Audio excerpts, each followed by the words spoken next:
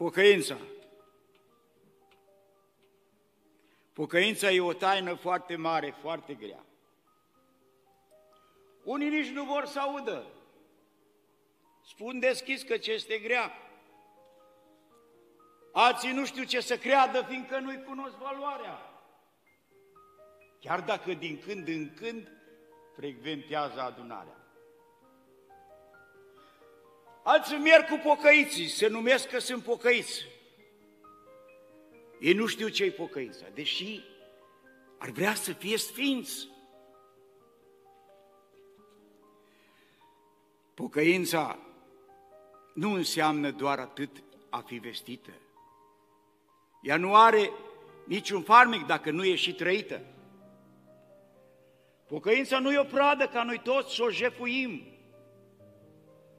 Pocăința e o stare care abia prin ea trăim. Pocăința nu provine de la neamul românesc.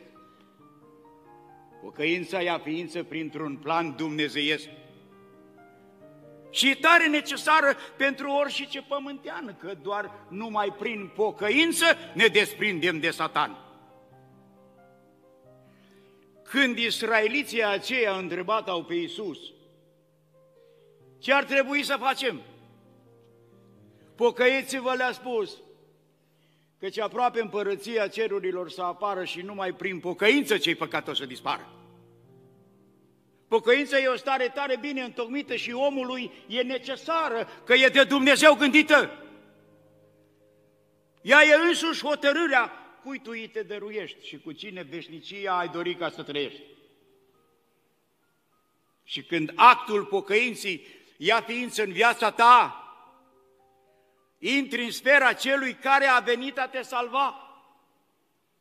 Atunci omul cel lăuntric simte că e păcătos și în smerenie totală se reîntoarce la Hristos. Și când a pătruns în tine prăbușirea cea firească, se renaște atunci în tine firea cea dumnezeiască. Și atunci îți poți da seama ce înseamnă pocăința când în suflet ia amploare o puternică credință. Apoi Sfânta Umilință va începe să rodească și parcă văzând cu ochii toate încep apoi să crească. Mai întâi crește iubirea, este cea adevărată. Apoi crește umilința și frăția cea curată.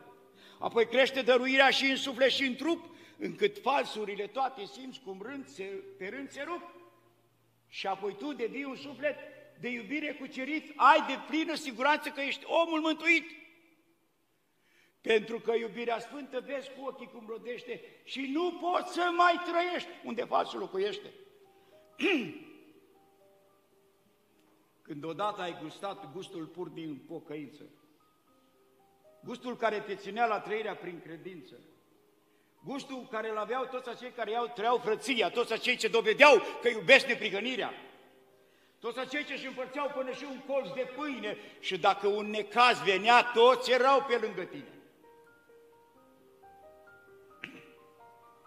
Dacă cineva cădea într-un fel de neputință, toți rugau pe Dumnezeu să-i aducă biruință. Nimeni nu era strivit de povara bătrâneții, căci erau toți împreună, cananii, tinereții.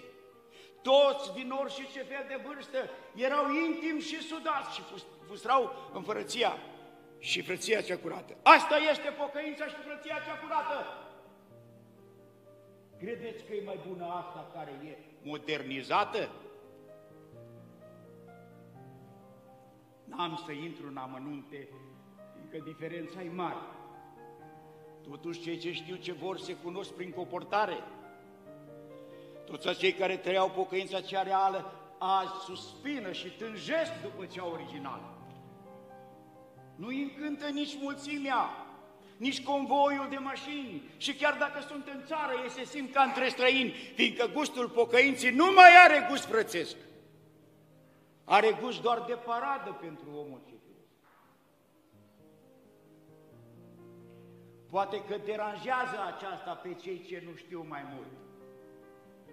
Totuși nu găsesc de bine adevărul să stea mut. Trebuiește pocăința să revină la normal, să-i apară iarăși gustul, însă cel original. Trebuiește ca frăția să aibă iarăși un cuvânt. Să începem iarăși lucruri, însă plin de Duhul Sfânt.